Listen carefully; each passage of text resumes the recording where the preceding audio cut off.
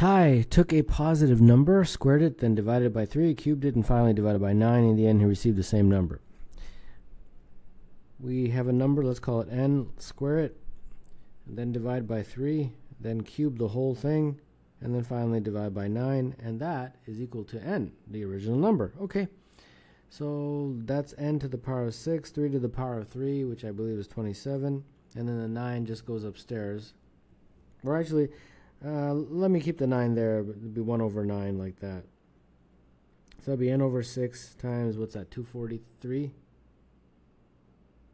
And then cross multiply and then divide through and you get n to the power of 5 is 243. And then the fifth root of 243 is 3.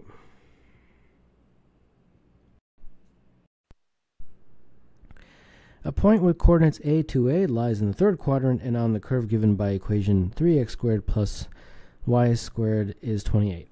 What is A? So, you guys remember the quadrants?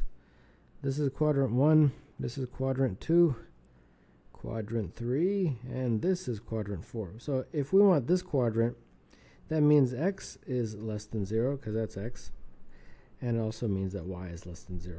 Okay, so let's plug that into this equation so we get 3a squared plus 2a all squared is equal to 28. And therefore that would be 3a squared plus 4a squared is equal to 28. And that's 7a squared. And therefore a squared would be 4 and a would be plus or minus 2.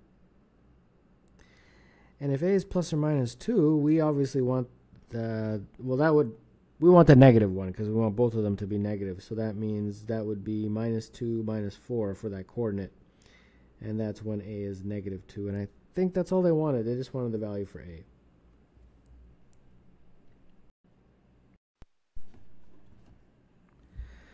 Tanya and Katya made an experiment and obtained two positive real numbers, each of which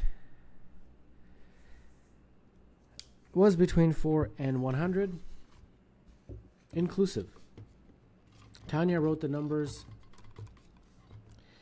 x and y and found their average, while Katya wrote the second number twice and took the average of the three numbers x, y, and y. What is the maximum number for by which these results differ? So x and y are both uh, between 4 and 100 inclusive. So the first average is x plus y divided by 2, and the second average is x plus y plus y divided by 3. And we want these numbers to differ by as much as possible. So I guess we will try to maximize this guy, and we'll try to minimize this one. And if we do that, then the, the difference will be as wide as possible. Okay, so minimize that. I'll try to choose the smallest value for x. So that's 4.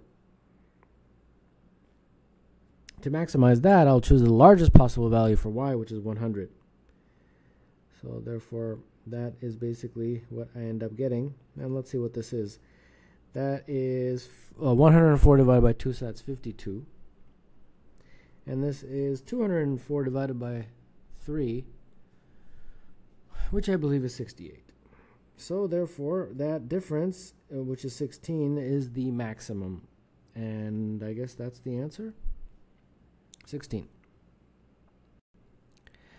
Square ABCD has side length 10, points WX, Y, Z are the midpoints of the segments AB, BC, CD, and WX. Determine the area of the quadrilateral XCYZ. All right, let's work with this. So let's just draw a line down the middle like that. And therefore, since that's 10, that's 10, that was 10, now I've basically made a 5 by 5. So if you look at that rectangle WYBC, that's basically be a 5 times 10, which is a 50, um, is the area. And since x is the midpoint of BC, that's also 5. So that triangle, uh, WBX, would be 1 half base times height, which is 1 half times 5 times 5, which is 12.5. Just put that 12.5 in there. And then that other triangle, WZY, that base wy is 10 so 1 half 1 half times 10 times that. now the height is from here to here And that height is basically half the distance of that 5, so it'll be 5 over 2. So that looks like 50 over 4, which is 12.5. So finally, to get that uh, CXZY quadrilateral, it'll be that 50 minus that 12.5 minus that 12.5, and that is 25.